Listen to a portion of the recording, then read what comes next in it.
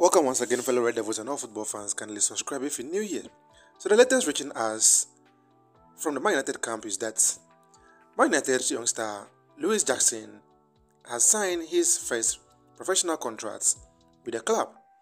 The 17-year-old defender has been rewarded with a new deal after an impressive year in which he helped the club win the Youth Cup. Jackson, who originates from Trafford, is a lifelong United fan and has held season tickets at the club since age 5. On signing his professional contract with Man United, the young centre back reacted to the signing on social media saying, Very proud to sign my professional contract at Man United.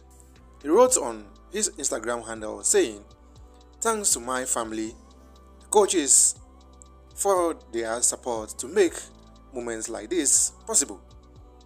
The hard work continues. Of course, it is the dream of every young talent to play for this prestigious club and wear the famous red shirts. Congratulations to you, Jackson. Fellow Red Devils, the latest reaching us on transfer from the camp. Subscribe and be here for more updates. Thanks for watching.